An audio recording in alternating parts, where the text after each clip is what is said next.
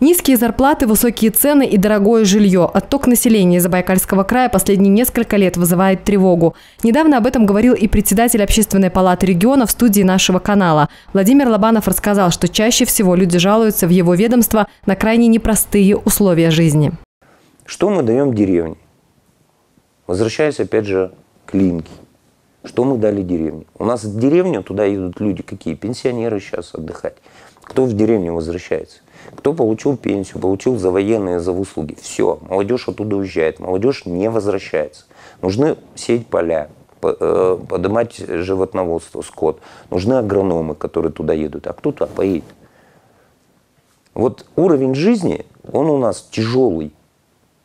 Но живет у нас тот, кто пашет, работает.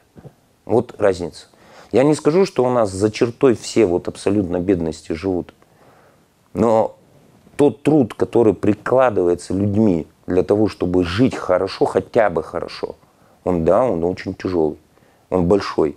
И самое страшное, то, что у нас не поддерживается вот именно вот такое направление семьи не поддерживается.